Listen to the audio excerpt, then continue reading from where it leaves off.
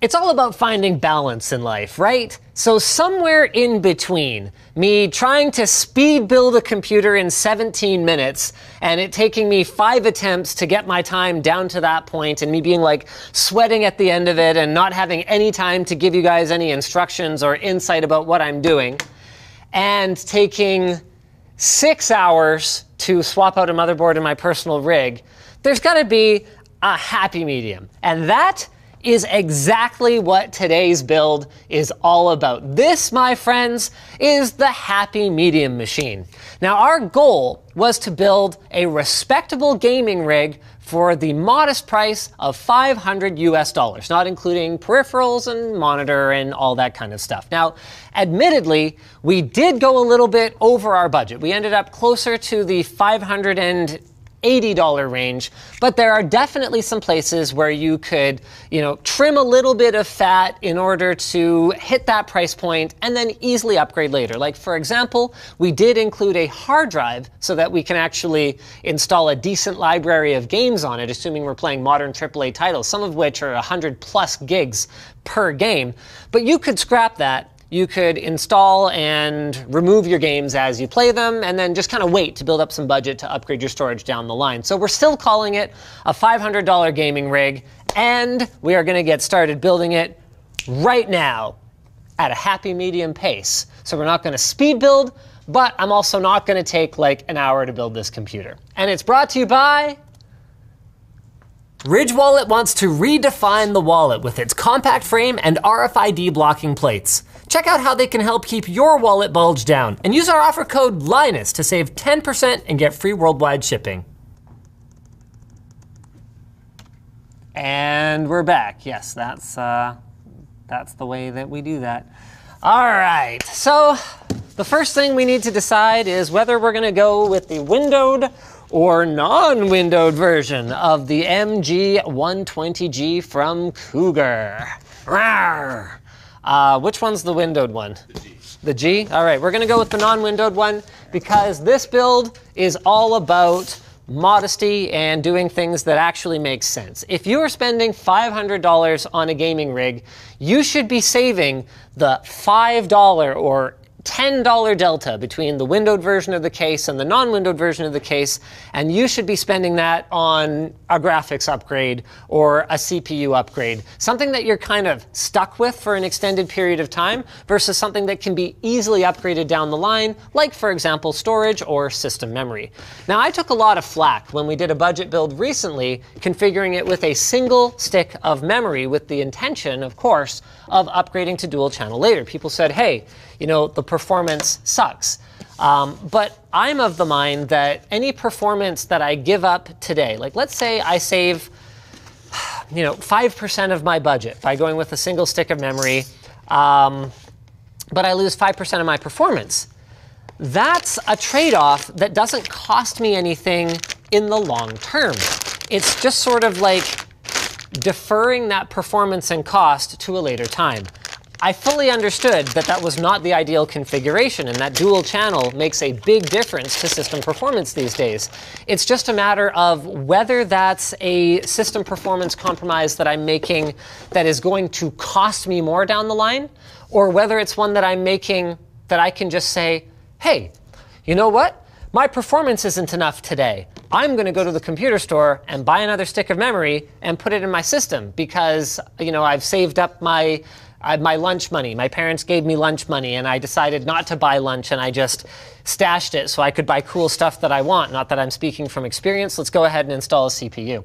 So for our motherboard, we went with the ASRock B450M Pro. This is just such a great balance between performance and cost. It's MATX, so you don't get some of the expansion that you might expect from a full-size board. You've only got three PCI Express slots.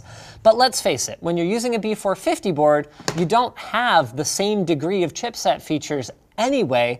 And an MATX board, I feel, is a really, really good compromise there. So we've got our socket AM4, we've still got four memory slots, so we can load this puppy up. We've got two M.2s, uh, and then, of course, the PCI Express slots, and actually a pretty reasonable mix of I.O. with six USB 3 plus ports. only gigabit Ethernet. It's not until you step up to B550 that you're going to start to see things like two and a half gig Ethernet on these uh, on these more value-oriented boards. Let's go ahead and switch to our top down here.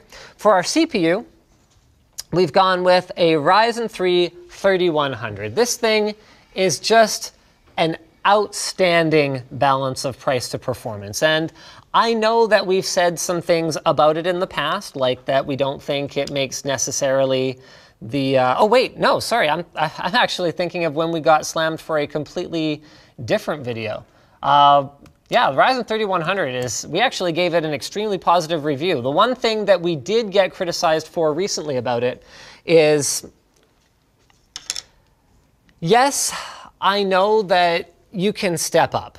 Okay, so you can step up to a 3300 and that does make a big difference to performance, but I still maintain that even if you're going to end up with a little bit of latency due to the 2CCX design of this one, it's at a certain price point, not the kind of thing that you're going to notice when you're pairing it with a 1650 Super. That's something to bear in mind about the way that um, you typically benchmark hardware versus the way that people actually deploy it in the real world. If you want to pop in here, I'm just going to go ahead and install my CPU.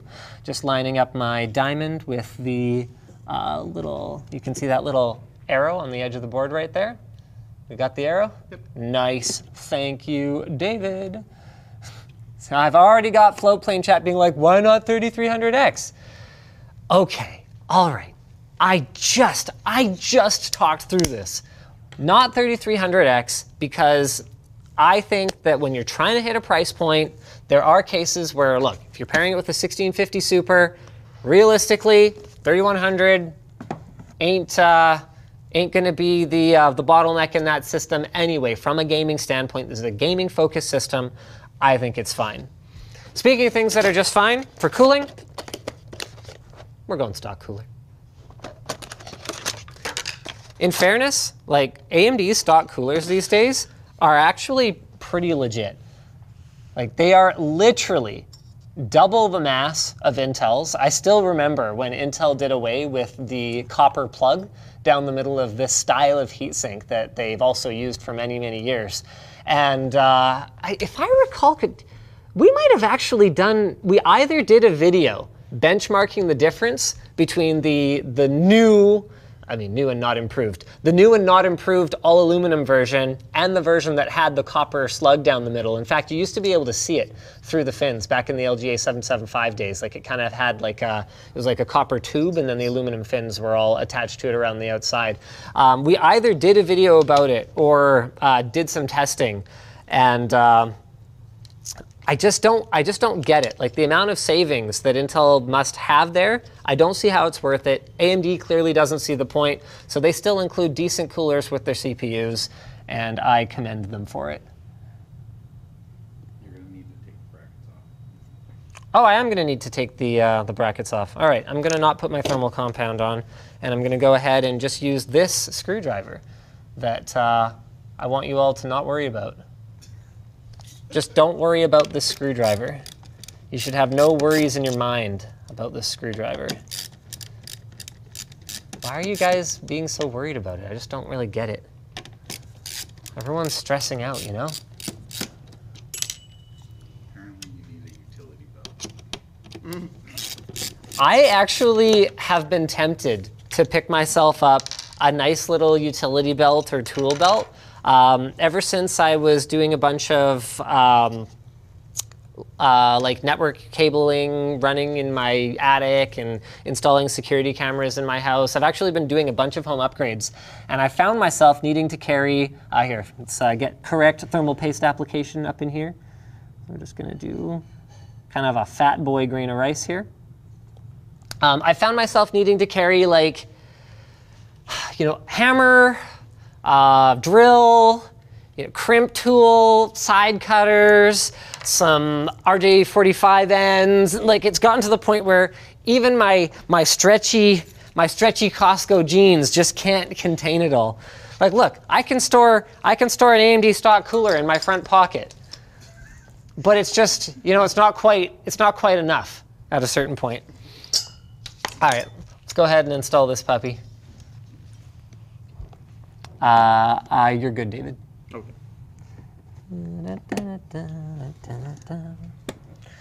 I love this is another thing that AMD slash AMD's partners don't cheap out on compared to Intel boards.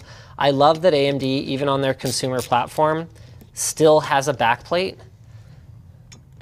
There have been boards that I've seen that have just the these uh, these plastic, uh, like these little plastic bracket things, and then they just use push pins to go through the board. But unless you're buying like some super random board on AliExpress or something, the vast majority of them have a backplate.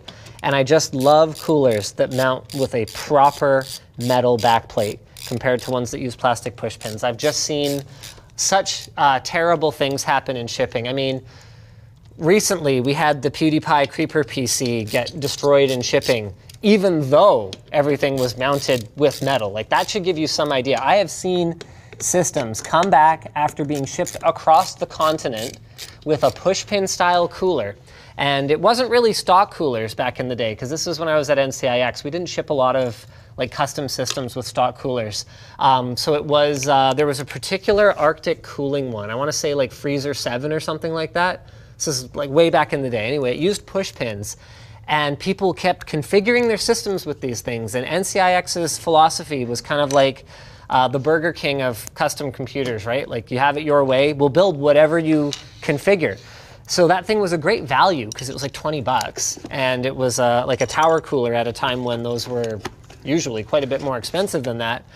Um, so people kept configuring their systems with these bloody things, and we'd configure them, and I'd see these systems come back that looked like they had been kind of like picked up and drop kicked repeatedly down the length of a football field with this cooler having popped off and banging around inside the system. We're talking graphics cards that were like ripped out of the slot, but still screwed in back here. So the slot is just like like gaping open none of the pins are making contact we're talking hard drives getting getting knocked out and like putting like not dense I'm not talking dense. I'm talking like you can see through the PCB holes in the motherboard. I've just seen such, and you know, as someone who, especially at that time, you know, really had basically no money, right? Like I'm working as a sales rep at a computer store. Um, two days a week. I'm going to school at the same time. I, I pretty much had no money. Um, I like loved hardware. Like it was all that I lived and breathed. And just like seeing those things, actually traumatic. Like looking at, you know, a $3,000 gaming rig that's just, you know, SLI and this cooler came off and just like knocked both of the video cards out and they were banging around inside the case and like the power supply survived, it's still screwed in, but like the back of the case is now bent from the weight and it's scratched all over. Like, just had to steady myself. You know, sorry, I said this stream wouldn't go on for too long, so let's go ahead and plug in our CPU fan here. So it's pretty typical these days, and I just, man, ASRock has done such a great job of their budget boards. Come on in here, David. It's pretty typical these days on what used to be high-end boards having a feature where you have two CPU headers. Uh, one for the CPU fan if you've got a conventional setup like this, and a second for if you've got an AIO and you've got sort of one connector for your fan or fans and then a second connector for your pump.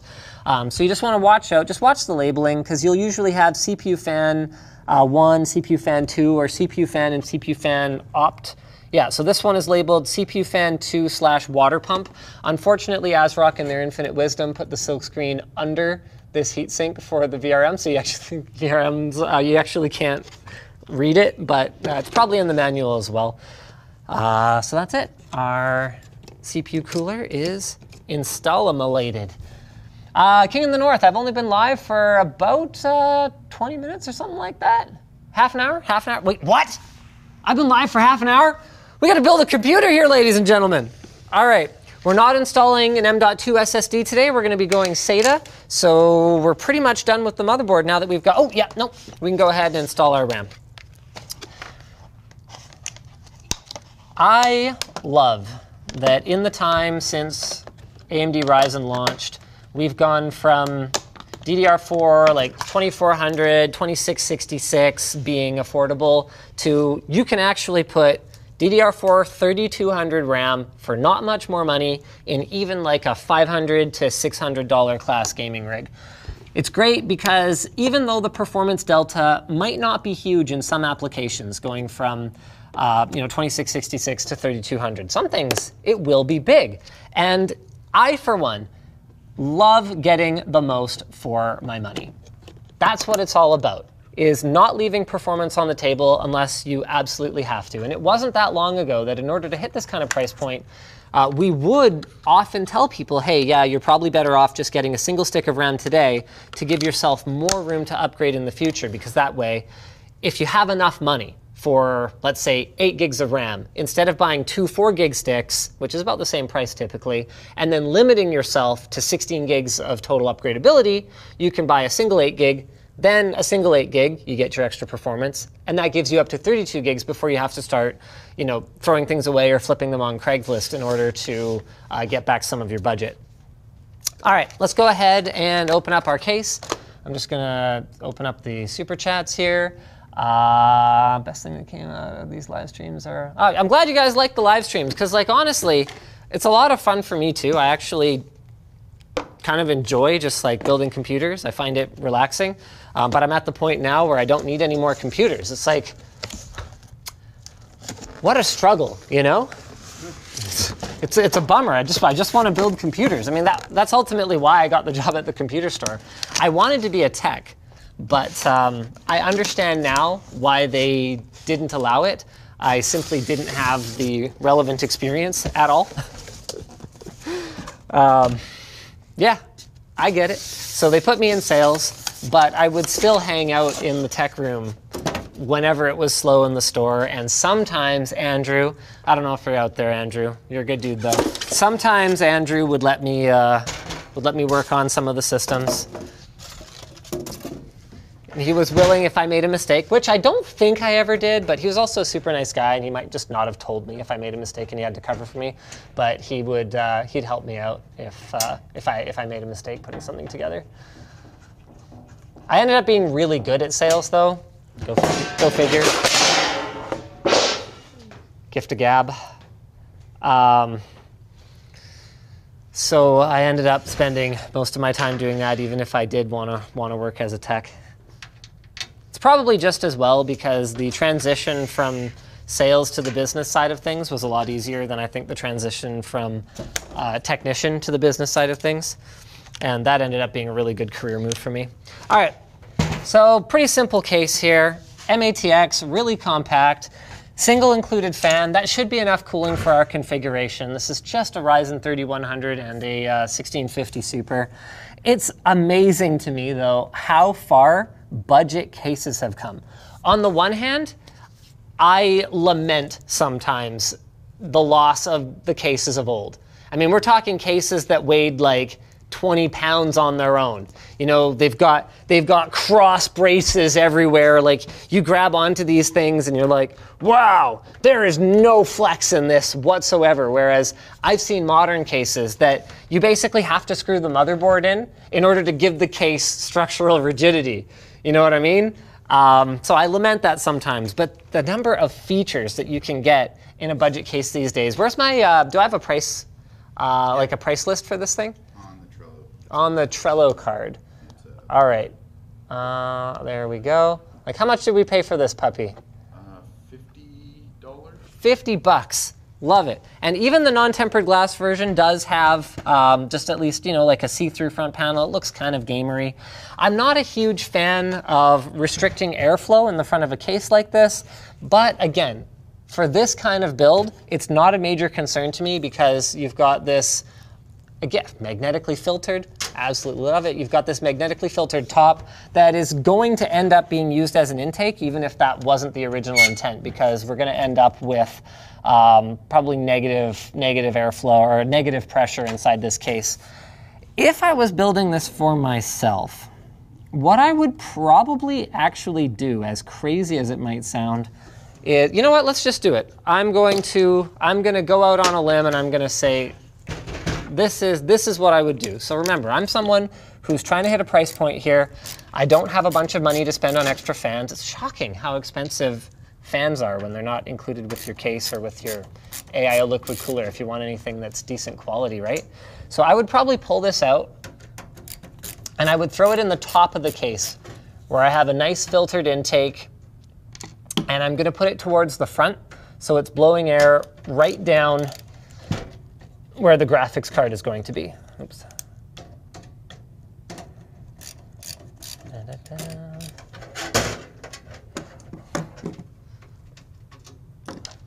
So yeah, I'm gonna go ahead, I'm gonna put it right here, just reconfigure my included fan. Like there's no real reason that it has to be in the back like that, other than that's the Intel ATX specification. Oh, fun fact. I was reading an article on um, AnandTech the other day about a new power supply standard that apparently, uh, I think it's Intel championing it, where basically we're gonna do away with the 24 pin and we're going to do away with 3.3 volt and 5 volt all together coming out of the power supply.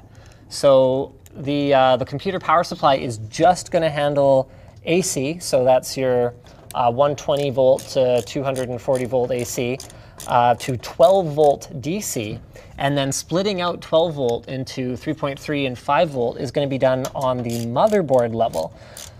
Um, I'm really interested to get my hands on it, and I just got a shipping notification. So I actually am going to have both a motherboard and power supply for this new standard coming fairly soon, and I'm really excited to check it out. The main, the main uh, play here is just uh, simplifying the power supply and improving efficiency, because DC to DC conversion is um, more efficient than AC to DC conversion. Now, a lot of modern power supplies actually do that internally anyway. So they'll just um, uh, do DC to DC conversion from 12 volt to 3.5 and 5 volt anyhow. Um, but presumably there's some kind of benefit to moving that onto the motherboard, and I look forward to talking to some of the engineers who are working on it to find out exactly what those reasons are and bringing that knowledge to y'all. Okay, so that's where I want to put my fan. This is powered by either 3-pin or 4-pin Molex. So I'm just going to rip this Molex connector off because Molex connectors suck. What year is it? And we're going to plug the 3-pin into the motherboard when we get a chance. Let's go ahead and install our I.O. shield. Uh-oh. Where's my shield? Oh, there it is. And I never miss these when I get to work with motherboards that have them included but it's also a small price to pay for, you know, spending oftentimes, you know, 20, 30, 40, 50 dollars less on your motherboard. I've been for a long time an advocate of getting the motherboard that has the features you need, um, as opposed to worrying about you know every every theoretical you know mad gain you're going to get from some kind of more robust VRM solution. Uh, it's like, yes, if you're a professional overclocker, you're going, you know, dry ice, liquid nitrogen, or whatever the case may be, there's absolutely a benefit to your, you know, $400 motherboard or whatever. Um, but if you're someone that's just going to basically say, okay, I'm going to enable multi-core enhancement, I'm going to put some decent cooling on this thing, make sure I've got good airflow over it. Um, I'm just I'm just not convinced that it's worth the A, the money, and B, the extra time. Um, we've actually got a really fun video coming soon where Anthony and I went head to head in what we're calling the tech triathlon. You were there. What do you think? Fun competition? Oh, yeah. Okay, so uh, Dave, David helped us film that one. And what it is, is building a gaming PC, overclocking said gaming PC, and then actually gaming on said gaming PC. And uh, I can tell you guys a fair bit about it now, uh, even though it's uh, not something that we're ready to release yet. If you want to come close up here, I'll just show people where I do need to put some motherboard standoffs in. This one doesn't have them all pre-installed, unfortunately. Just Actually, it's kind of a weird setup that it's got, because it's got the four ITX ones and then one MATX one over here, but not this one and not anything over here. So it's, yeah, it's kind of bizarre. Um, so it's a timed event, and we go from building a computer, obviously, as fast as we can. The faster you can do it, the better. To overclocking the system. And every percent of extra performance you get gives you a 2% time bonus overall. And then we have to uh, play the first level of Doom Eternal on, I think it was Nightmare or Ultraviolence? Ultraviolence. On Ultraviolence. And neither Anthony nor I has played that game extensively. And I can, okay, one thing I will spoil a little bit is that's definitely going to show in my performance in the gaming segment. But uh, one of the things that I was sort of, uh, that I thought would be an interesting takeaway from that video is, you know, how long, aside from the extra money that you spend on, you know, tunable components, how much do you have to pay yourself to sit around and tune them um, compared to if you had just gone, okay, you know what, I'm gonna I'm gonna find a side hustle and treat myself to something a little bit faster in the first place. Um, it's just it's been a very interesting calculation for me ever since really ever since I joined the workforce because PC hardware choices for me in the past, uh, when I was like a student, when I was a kid, were more about um, you know, what's the what's the cool new shiz that I want to play with temporarily because I would usually buy it secondhand from someone with buyer's remorse, like while it's still current hardware, um, and then I would flip it right when the first rumblings, like the first rumors start of a new generation coming, and then I would just go back to like you know a PCI graphics card for a few weeks while I wait for the new product to come out, and then I would take the money that I got back, find someone with buyer's remorse, and so on and so forth. So effectively, I had cash flow tied up in my computer, but I never really actually spent any money on it, if you understand what I mean. Um, anyway, as I as I moved into adulthood, I started seeing like I basically I had what I had was uh, time but no money. And then as I got a job and moved into adulthood, I found that I had more money, but I had no time because I was working all the time. Like even when I was at home, uh, when I was at NCIX, I put in a lot of hours off the clock just because that was the demand. Honestly, that was just the demands of the job between product management, um, the PC division, and uh, making videos for them as well. Um, so all of a sudden, I started to see more value in just like you know getting a good one in the first place and not having to tinker with it. And it's just kind of a different mindset. Like everyone is at their own stage or, or in their, so you could see it as kind of like a, like a spectrum.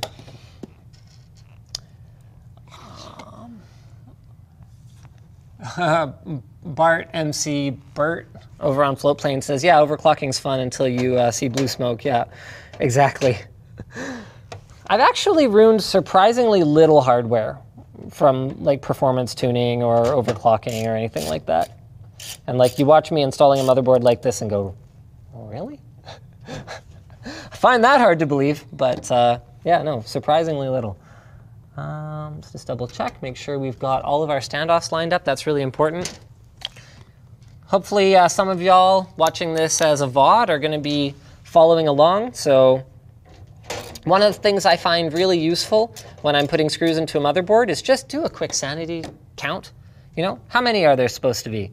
You got your one, two, three, four, five, six, seven, eight. All right, there's supposed to be eight. Count out eight screws, and then if you have any extras, well, then you know that you missed one. Not that it really terribly matters. You could put in like two screws in a motherboard and you'd still be all right. So I've counted out six here. Uh, let's go ahead and uh, do some super chatty chats. I'm going to switch to the overhead, give David's arm a break.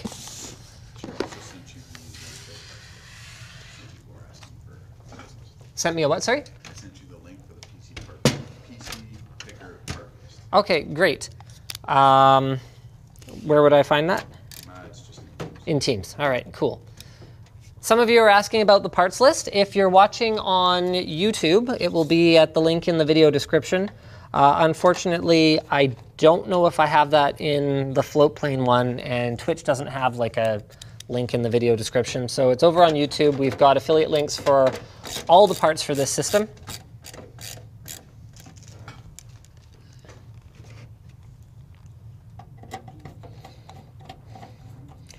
If you're trying to follow along with this build, one thing to watch out for here, guys, is there's two types of screws included with the case. There's the coarsely threaded ones with the hex-shaped heads. Those are 632. Uh, you guys can't really see this, unfortunately, but there's not really much I can do about it. And then there's the M, what are they, M3 or M4? I can never remember if it's M3 or M4. Uh, whatever, the, the finely threaded ones. It just says motherboard SSD screw in the manual. Thank you very much for not just telling me the threading standard. Appreciate that, Cougar. I'm not mad though. I love Cougar. This is a Cougar, Cougar cases, Cougar cases. I'm a Cougar lover. Wait, hold on. Um, um, uh, uh, okay, uh, the motherboard's installed. Wonderful. Oh, wait, I'm sorry, David. I didn't warn David. Oh, oh, hello there. Uh, let's go ahead and uh, install a hard drive, shall we? Yeah, it's been a while. I like installing hard drives. Oh.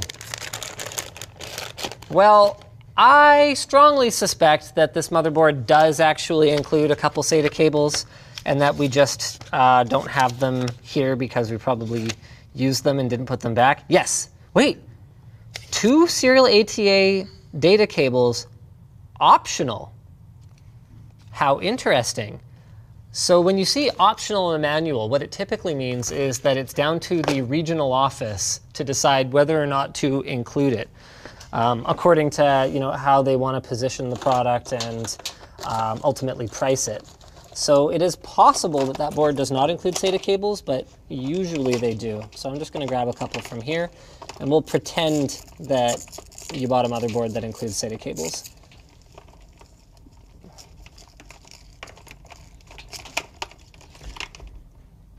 I remember I used to get really mad back in the day when there was no consensus on how to pronounce SATA. I was like, no, we should call it SATA. And I just like really cared for some reason. And I can no longer even remotely understand why I would have cared about that. Uh, are these right angle? Oh, for crying out loud. Well, that's why I'm finding all straight ones, except, or all right angle ones, except this one. Or, no, there's a right angle one. Dang it, do we not organize? What's the point of labeling the front of it right angle or straight if we're not going to actually stick with it? driving me crazy. All right, so we're gonna grab one of our hard drive cages. I'm gonna go with the top one. I just kind of tend to prefer top cage over the bottom cage. Just one of my one of my things. And oh, that's curious. Oh, interesting. Okay, so it looks like it does go sort of front of the drive towards the uh, side panel that would have a window if we were using a windowed case, and uh, interface towards the back. And then you just have to kind of no. Wait, really? Oh, okay. I thought we were just going to have to kind of, here, look, like kind of peekaboo the interface like down there. But it looks like it does not go in that way. It's actually what I would consider to be backwards, typically. How interesting. Wait, where are the little tabs? I'm actually having kind of a hard time figuring out what's going on here. Hello?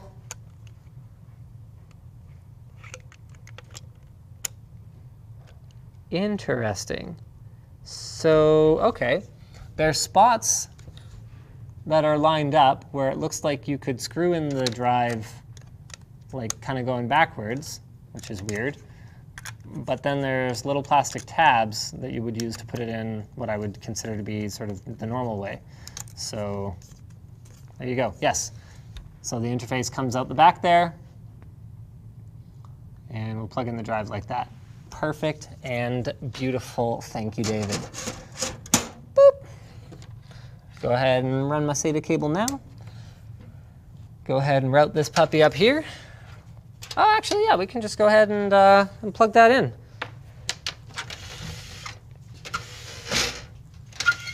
Man, I remember the first SATA cables. They didn't lock. Um, now there's a couple different locking mechanisms. They can have the little metal latch on them, or they can just have a little like piece inside that kind of helps it grab onto the um, to the SATA connector. But the original ones didn't have the uh, the border around them on the board. They didn't have the lock on the cable itself, and those things came out like crazy. It was super annoying. I'm actually going to go ahead and I'm going to put this one in the front. I'm going to bring my second one in the back here. If you can yeah, get a close look at what we got going on here. But ump. There we go. And then I'm going to bring that second one. You're going to be right here, David. Right around there. Peekaboo. There we go. It's going to give us a little peeky boo. Uh, all right, this is a little awkward. Um, we accidentally grabbed an SSD before we started shooting that does not have a DRAM cache. And for if I was just grabbing an SSD to put my game library on or something like that, where I feel you know most of the accesses are going to be infrequent and or sequential, I wouldn't even care. DRAM cache, no DRAM cache, whatever. It's going to be faster than a hard drive regardless. But when it comes to pulling OS duty, so we're actually installing our operating system on it, that is not something that I would particularly recommend. There are cases where a DRAMless SSD um, can perform worse than a hard drive, even though it's solid state. Now, that situation is changing a little bit. In fact, we did a video about a Kioxia SSD a little while ago, little tiny thing. It's called the BG4 uh, M.2 SSD that has no DRAM cache, but uses, uh, uh, or has the capability anyway, of using a clever system that allows it to borrow some memory from the, from the system to use as a cache. That's pretty cool. That could help a lot, but this don't got it. So we need to make sure that we're going something that has a DRAM cache. So that's why I, I relabeled this. Instead of SU650, uh, we have a link down below to the SX850. It's only a few dollars more, and I think it's definitely worth the extra. Here we're using the same threaded screws that we did for the motherboard. So these are the finely threaded ones with the circular tops.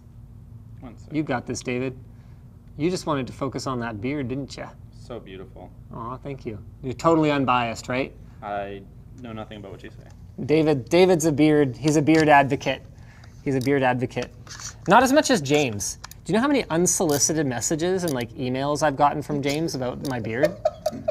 Why? What does he say? He'll say things like, uh, you know, oh hey, you've got a. I, I, okay, I noticed, you know, the, the upper lip's growing a bit, a bit too low. You gotta like trim it here, or just he'll send me like a random comment from the from the YouTube comments that's like, you should keep the beard. And he's like, I second this motion. Like, dang it. Ah. Nicholas, do you mind grabbing that screw? Sorry.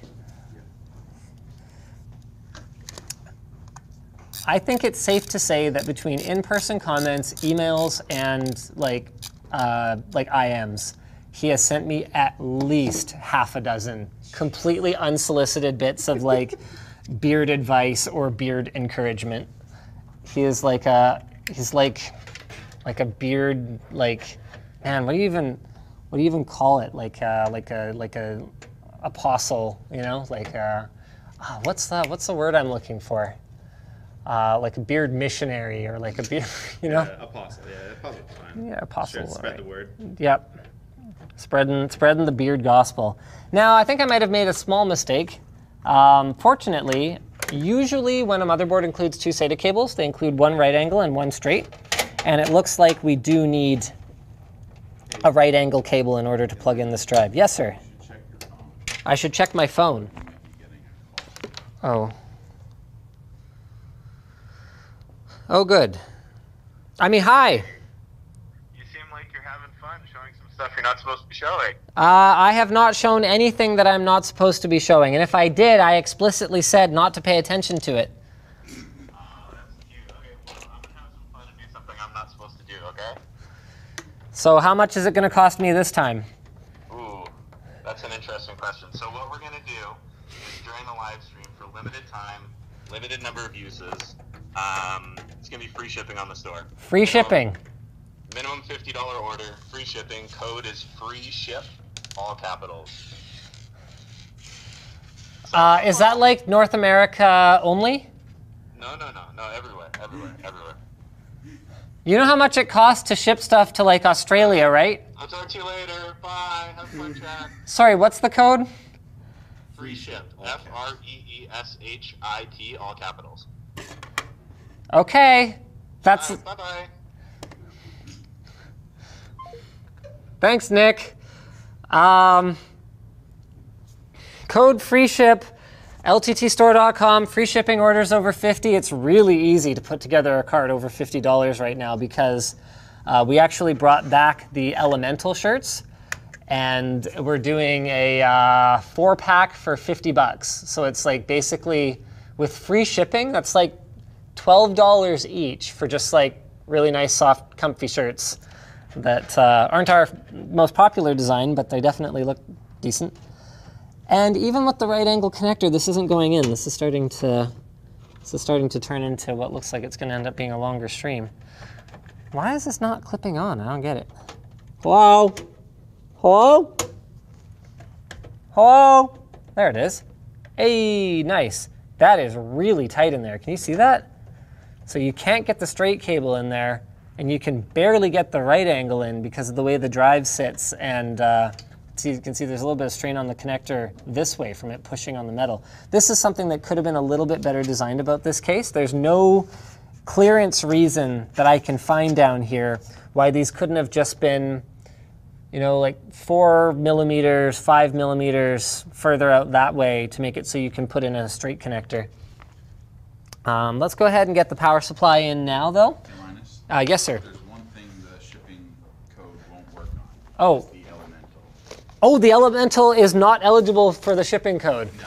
Oh, that's hilarious. Okay, well, it goes to show you what I know. Right, because that's already a loss leader. That makes sense. You don't stack your loss leaders. See, business. It's got some, got some Linus business tips up in here. I mean, I wasn't the one who thought of it. Apparently, Nick was the one uh, protecting us from completely losing our shirts. Pun intended. Hey, I got the chuckle. That's all I needed. That's all the validation that I needed. Now you're part of the problem, not part of the solution, David. I honestly didn't hear what you said, but I'm so socially inept that I have to laugh when other people laugh around me. Really? Yeah. You just feel like compelled to laugh if other people are Oh, laughing. for sure. So I've never been funny to you then. I didn't say that. Ouch! You're the funniest Linus I know. Dang. All right, well, you know what? That's fine. I'll take it. For power supply, we're going with an EVGA. Wow, the most generic thing probably in their entire product lineup 400 watt power supply. They apparently didn't even have the budget on this one to submit it for 80 plus certification. Um, the one positive thing I can say about it is that it's EVGA, so it can't be that bad. You know, I remember getting an irate um, email. I think it was from Corsair. To be clear, this was like ages ago. Like nobody working there now would have had anything to do with this. But uh, I remember saying that in one of my videos. It's like, yeah, it's Corsair, so it can't be that bad. And they were like, uh, uh, uh, really? And, the, uh, and I'm like, no, I mean that in like a, I mean that in like a positive way. I really do. Like, what's wrong with that? If anything, to me, that's like a, that's a positive. What do you think, David? Is that a positive? I, I'm focused on focusing. Like, it's a Linus Tech Tips video. It can't be that bad. Oh no. Yeah. See, that's like, is that a positive thing or like a a bad thing? It's a positive thing. You think it's positive? All right. You sure you're not just laughing along? so I'm going with uh, bottom mounted fan just because, again, like budget cases, man, I love them these days. We've got a filtered intake on the bottom. We've got raised feet, so there's going to be enough room. Even on like a, a medium pile carpet, I think you'll still get enough airflow to your power supply there. So I always prefer to have the power supply draw fresh air from the outside when it can. And then we're using, this time, the 632 screws. Give me a look at that screw. While I just uh, check and see who's blowing up my phone. Nothing important. All right, perfect. It's the thing. It's like when you're popular like me, you know, it's hard to live stream because people are interrupting you. You know, it's a funny thing because um, I never really in my life, like even having millions of followers on social media, I've never in my life thought of myself as popular because growing up, I was the farthest thing from it. And the thing about social media is that um, it's really easy for all the people um, paying attention to you to start to look like just kind of like a number. Like it, um, especially with how your reach is so algorithmically driven these days rather than driven by the actual number of people that supposedly follow you on Twitter or are subscribed to you on YouTube. Like that number becomes so decoupled from the reality of how many people are actually watching that it just becomes like this number that you're just, you know, it's like a game you're playing almost. You're just trying to like increase the number. Um, and it wasn't until I started live streaming more that I started thinking like, oh no, these are like people that are are actually like out there, you know, mm-hmm. like a hundred thousand even is just this unfathomable number. Like how many people are are watching this stream right now? Let me have a look. There are 24,000 people watching this on YouTube alone. There's probably another 1,500 or 2,000 on Twitch. I don't have the counter up, but it's usually around there. Um, there's hundreds more on Floatplane. Um, so to me, it's like that is, you know, 15 times the total population of my high school. Just like hanging out and like, yeah, let's like build a computer. It's going to be like good value or whatever. Um, and as long as I was just sort of like shouting into a void, like just uploading videos, comments seem so much more disembodied. I can see when I first got into live streaming, I was just doing Q&As in my kitchen. And the only reason I did it was because I was like, okay, to be, we're putting in the 24 pin connector here, by the way, guys. It's keyed on the one side. You just kind of pop it in right here, uh, if you can get close up of that. Um, the only real reason that I did it in the first place was because Linus Media Group as a company, to be taken seriously, I felt we were going to need to have some kind of live presence. And so I wanted to make sure that when the time came that it was going to become apparent that live, you know, mattered all of a sudden, we weren't starting from zero. So I was like, okay, we need to have some kind of live offering. It was the only reason I really did it. Um, now I do it as much for fun as anything else. Like I was game streaming last night just because, like, yeah, sure, why not? Whatever, who cares? I can't do that kind of stuff on the LTT YouTube channel because it'll damage it algorithmically. But um, on Twitch and Floatplane. I uh, actually live stream reasonably regularly. Up here, we're doing our 4 plus 4 pin connector. So these separate in case you've got a 4 pin motherboard. Those are pretty uncommon these days, but sometimes you see a supplementary 4 pin, so an 8 plus a 4. Not here. We just need an 8 pin. We're going to go ahead and plug that into the top corner. I always like running my cable management up the back of the motherboard tray for this puppy.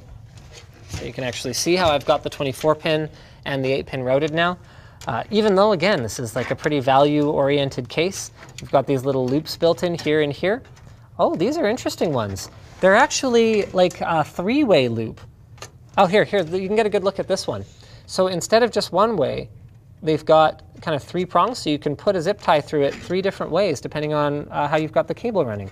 I really like that. That's a that's a good idea, Cougar. I have not uh, I've not seen that before. Cool.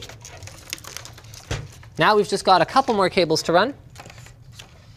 I'm a little worried. Thankfully, it looks like EVGA has gone for these relatively uh, short, uh, low profile SATA connectors, particularly um, uh, the earlier ones used to be quite a bit longer, and I was a little bit worried we weren't going to be able to plug into that SSD, but I think it's going to be okay. So we're going to run this up through that same cable management hole for the data cable, and I'm going to get this turned around so you can get a better look. We're going to pop that into the back of our drive. Can you see that all right? Oh, yeah. Uh, good, because I sure can't. I'm at a bit of a weird angle here. So it's keyed so it only goes in one way. Just look carefully at it. You shouldn't have any problems. Pop that on there and we should be good to go, hopefully. Does that go into the thing? Did we make it? Um, hmm. I don't know. Oh yeah, it's in. We got it. We did it. I don't know what happened to the screws that were screwed into the front of this. Fortunately, there's a couple there, so I can match those up. Let's go ahead and pop that on there. I am going to confess, I do not fully understand how this mounting mechanism works. Oh, no, I get it now. So there's two little nubbins on the bottom here, and then those nubbins go into these holes, which keeps these back ones from slipping out. I get it now. This seems over-engineered. That's all, that's all I'll say about them. Okay. Ah, where'd those screws go? I gotta find exactly the right ones. I could use other ones because they're threaded the same, but my OCD will not allow that. So I need to find exactly the right ones that uh, popped out before. Uh, Darren Chen asks, what is this PC for? This is for anyone out there at home who wants to put together a decent little gaming box for 500 bucks and change to follow along at home, have some fun building the computer, have some fun playing Vidya games when they're done. That's who it's for.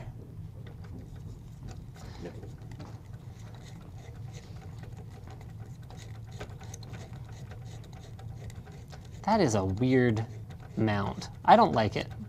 I've decided I don't like this SSD mount. I think it's I think it's over over complicated. All right.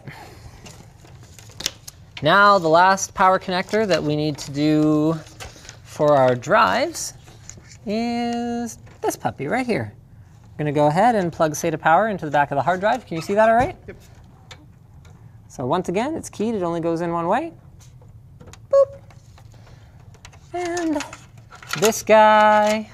Ooh, that's uh whew, that's an unfortunate meatball. Okay. One small design, I don't know if I want to call it a flaw, but I'll definitely call it a thing to consider, is that the front of this case is clear, which means that if you just jam your extra cables into the front of the case, uh, you can't really, oh, you can't really see it because of the reflections too well. But like, they're there, they're there, they're cably. Yeah, uh, so I'm gonna have to give a little bit more thought to how I wanna hide these cables that I'm not using. I think if I jam them under the hard drive cage, I should be in better shape. Ah, yes, lttstore.com. Uh, code free ship. We're doing free worldwide shipping right now, apparently. Um, just during the stream.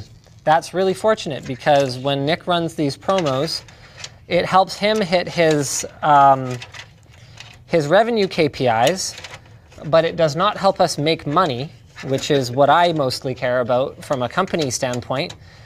And you should too. Why are you laughing, David? You're laughing along again.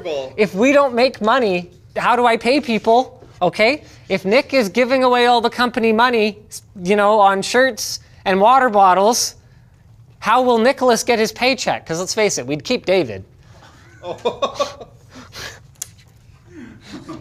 Just kidding, Nicholas. You're doing you're doing great. You're doing great. I love you, Nick.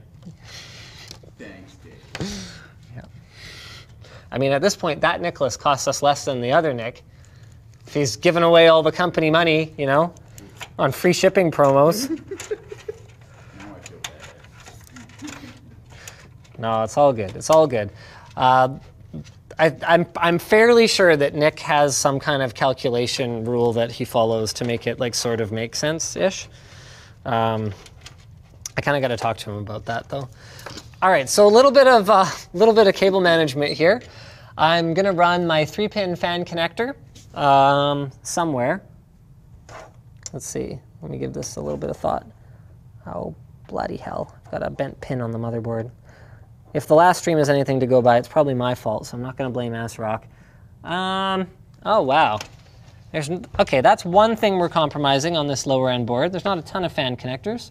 Oh, I didn't see these ones. Okay, yeah, we good. Oh, we good. Okay. That's awesome. So my fan connector is going to come up right here.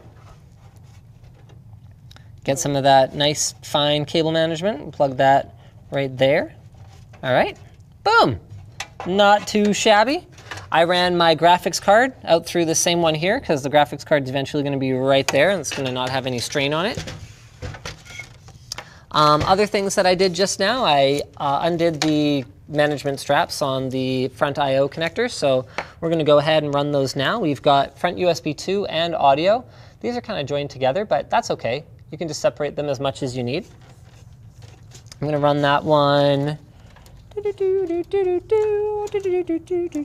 gonna run that one under. I'm going under. That's how we're folding things down. Actually, we're gonna go all the way to this far corner here with this one. Oh yeah. And we're gonna regret it immediately. Hold on, give me a sec. We are not gonna regret anything. We have no regrets. We're living that carpe diem lifestyle.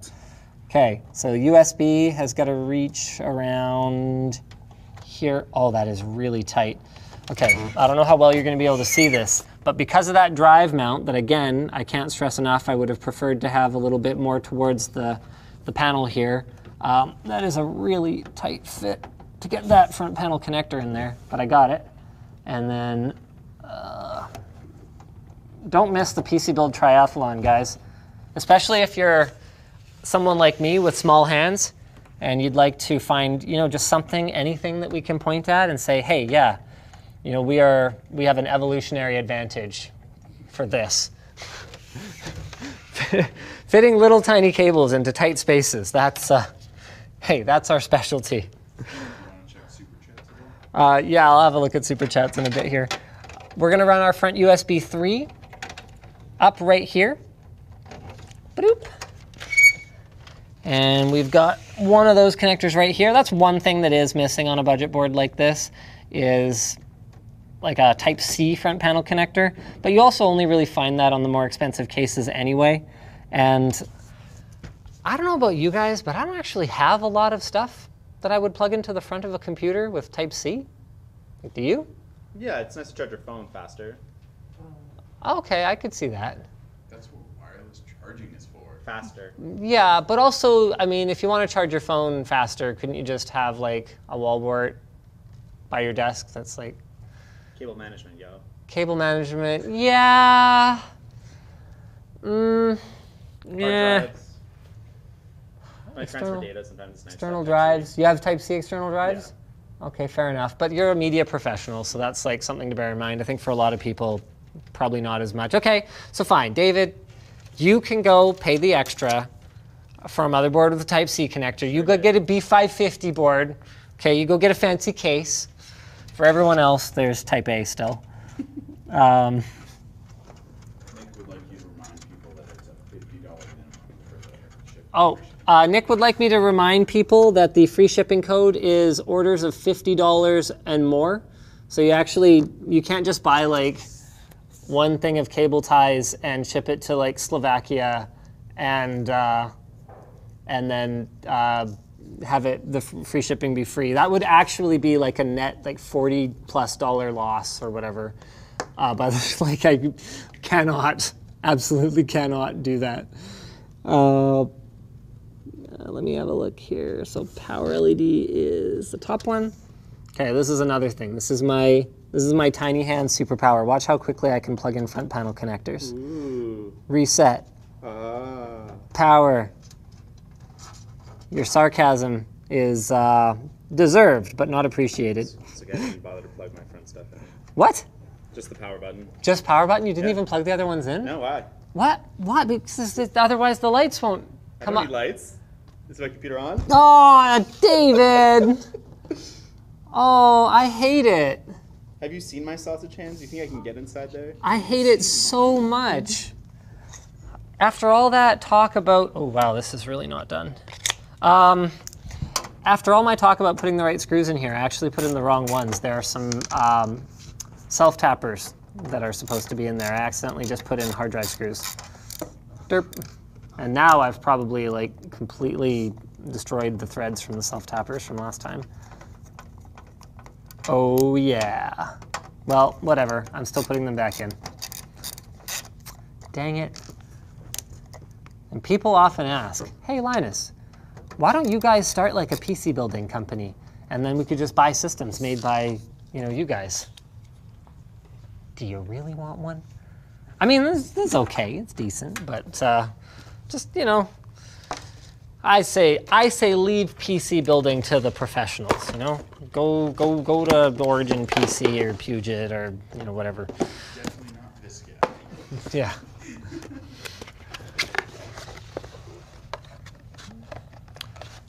Uh, Fiel says uh, free ship discount code isn't valid for the items in your cart. Yes, it's not valid for the elemental bundle. So you might have to get a water bottle or a stealth hoodie or whatever the case may be. Graphics. Here we are. We went Zotac. We went with a 1650 Super. It's a great budget card for the money. Just requires a six pin connector. It's super small, so if you don't have a large case like this one, I guess, yeah, calling this a large case is sort of uh, an overstatement, but uh, it is a, it is a MATX case. Um, but if you have even like an ITX case or like a super compact one, you can fit this thing in no problem. It's a pretty solid cooler for um, for an entry entry level, you know, what I would consider to be like entry level, but still performance, like still gaming. All right, time to plug our graphics card into the motherboard. So I'm just gonna line up our top PCI Express. Oh, oh, I did the thing. I accidentally popped out one that I don't need, and now it's just gonna be like a gaping hole in the back of the computer. Womp, womp, womp, womp. That's a shame. Is that uh, is that like trombone sound like copyright? Like, are you allowed to do that? You're allowed to do it. You're allowed to do that? Okay. I allow it. I don't know. You never. Well, thanks, David. I'm sure glad. David, the authority on like what series of tones you're allowed to to play and which ones you're not. Just as long as you don't make that sound and then say, "Let's get ready to blank." Okay, are you allowed to say the words as long as you don't say it in like his trademark tone of voice? I don't know. I actually, I actually don't know how it works.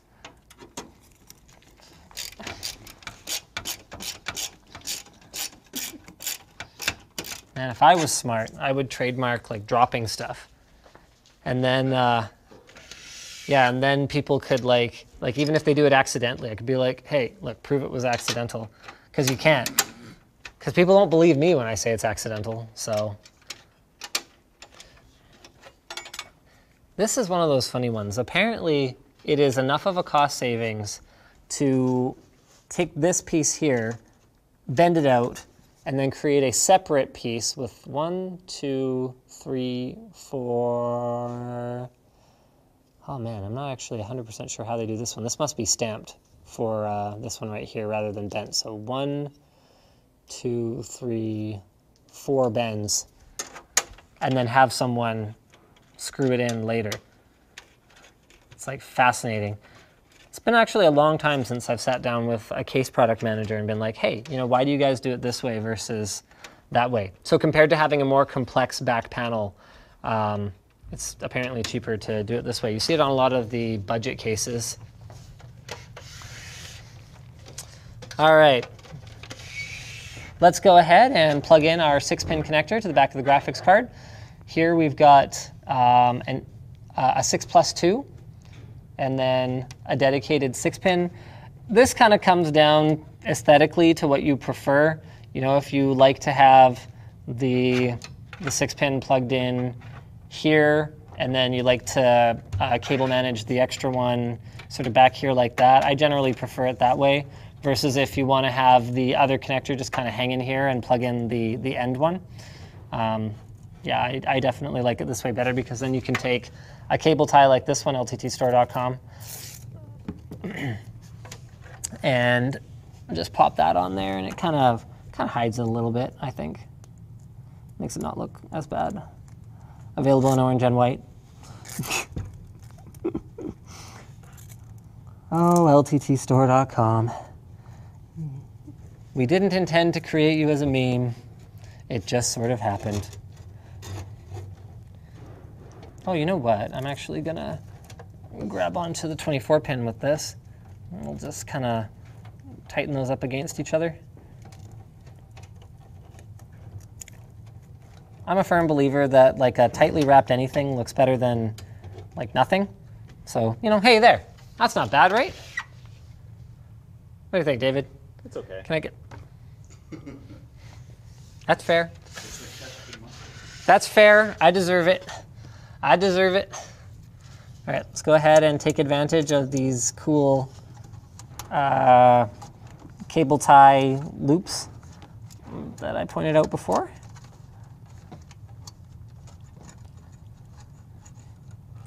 I would, you know what would be really cool? I don't know how on earth we would coordinate this, but like, can you imagine doing a live stream like this, except we pre-announce ahead of time what the components are going to be so that people can buy them ahead of time and like we can actually all build the computer together. How many people need to build a computer at one time, though? So that is the problem because we actually did this once, um, but in person. Oh. So NCIX, I think we did it twice, not once. Uh, we called it the PC Building Workshop or something like that. And if you if you happened to be building a computer like at this time and you happened to be available on this day, there was like it was either a small additional cost or it was you pay the assembly fee, but we don't assemble it.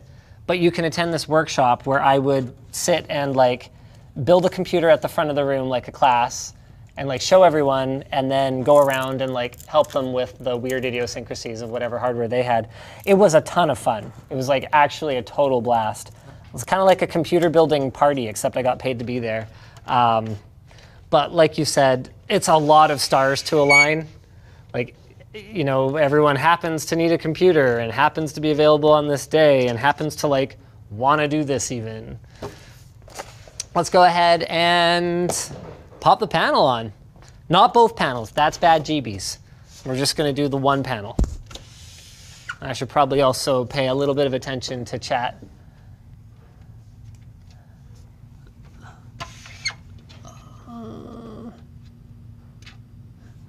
What are the specs for this build? Uh, we've got them linked in the video description on YouTube, but it's a Ryzen 3 3100. Uh, we've got, I believe it's 8 gigs of RAM, 3200 megahertz. Yeah, 8 gigs of RAM. We've got a 1650 Super uh, ASRock uh, MATX board, decent little board, uh, pretty inexpensive, but not too many compromises. It's not one of those ones where you're like, oh yeah, you know, you've got two RAM slots, oh, great, you know, no upgradability or whatever the case may be. Um, this is a Cougar, what is this thing? MG120 case. We've got an EVGA. They don't even have like a, a, a lineup for it, as far as I can tell. Like it's not B or G, it's just EVGA 400 watt, okay? Part number 100-N1-0400-L1. That's it. It's as close to a generic power supply as EVGA is ever likely to make. Uh, what else did we throw in here? We've got an SSD that I um, uh, uh, creatively renamed. So the link doesn't match the actual one that we put in, but I don't recommend the one that we actually put in. So we put in a link for one that's uh, a little bit more sensible. We threw in a one terabyte hard drive just in case you've got a, a big game library you want to install. Well, just in case you've got a modest game library these days and you want to install, you know, five or six games. Yeah. Isn't COD like over 200 gigs? Uh, it's 170. 170. There you go. So you could install uh, the latest COD and then like well, wait, uh, Doom Eternal. Isn't Doom Eternal over 100 gigs? Maybe. I'm sorry. I think it might be. Uh, so you can install like latest COD, Doom Eternal, and then like Fields, Battlefield. Yeah, that's another really big one. Red Dead Redemption. Yeah. Red Dead Redemption is like 150 gigs, isn't it? Yeah. Yeah. So you could install like half a dozen AAA titles, you know? Isn't that isn't that ridiculous? I mean, I love it. Give me give me that visual fidelity for sure. But uh, I mean, you know, I still remember back when it felt crazy that a game came on five CDs. Yeah. Far Cry 1, baby. I still have my Far Cry 1 CDs. All right, let's go ahead and fire this puppy up. So, what do you think? First time post? Oh, yeah. Oh, wow. Not too shabby. It's like you've done this before. Almost like I've done this before. Well, yeah, but I've done this before enough times to know that it actually is not, not a guarantee that it's going to post the first time. All right, so all we're really going to alter in here is uh, loading our XMP profile, DDR4 3200, increasing our uh, voltage a little bit, tightening up the timings a little bit. And hopefully that works. One thing to note, guys, is with these B450 boards, if you're using a third gen Ryzen, there is a solid chance that because of limitations to how much data they can actually store on the board itself, um, there's a strong possibility that you'll have to put a first or second gen Ryzen chip in, flash the BIOS for third gen compatibility, and then put your third gen chip in. Now, we obviously did that preparation ahead of time, but you can't take that for granted.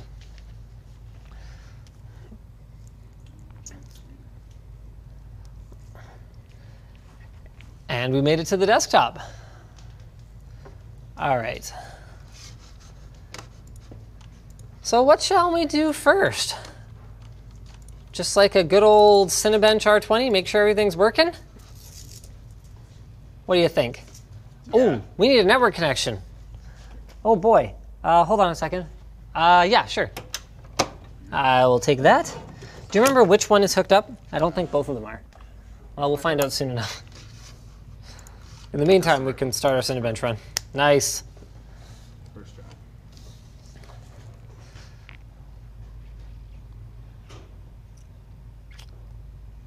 Seems like you guessed right.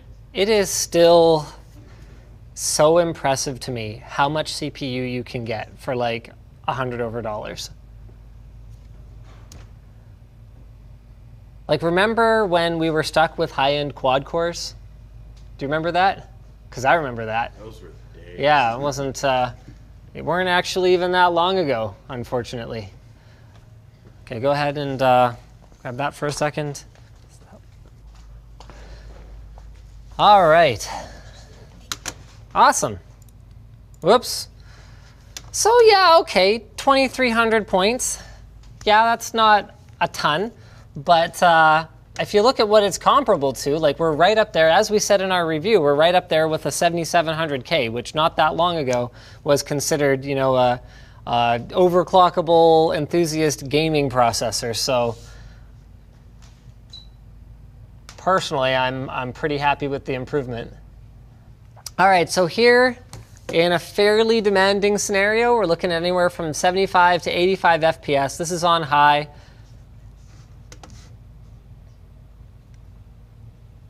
And I remember when you could only turn on like soft shadows and stuff like this on super, super high end hardware where your graphics card alone cost 500 plus dollars. Meanwhile, we got this like tiny pinner little thing over here spitting out 60 plus FPS in a game looking like this. It's amazing. We managed over 60 FPS in a couple year old but still AAA title for 500-ish US dollars. Remember guys, I know it's over 500 but you don't strictly speaking need the hard drive unless you want to play like very modern, very AAA games with gigantic installers. Uh, thanks for watching and oh yes, of course, the video is also brought to you by our sponsor. Private Internet Access is a tool that masks your IP address and encrypts traffic to and from your devices. Combined with private browsing tools and safe browsing best practices, it can even make savvy websites think that you are somewhere else. PIA offers reliable service with over 3,000 servers in more than 30 countries, and they've got no bandwidth caps on their service. You can configure your encryption, the internet kill switch prevent from leaking if you're involuntarily disconnected, and Mace will block requests to known malware and tracking domains altogether. So why wait? Try it out risk-free with their 30-day money-back guarantee. They've got clients for Windows, macOS, Android, iOS, and Linux, and you can connect up to 10 devices at once on a single account. We'll have it linked down below.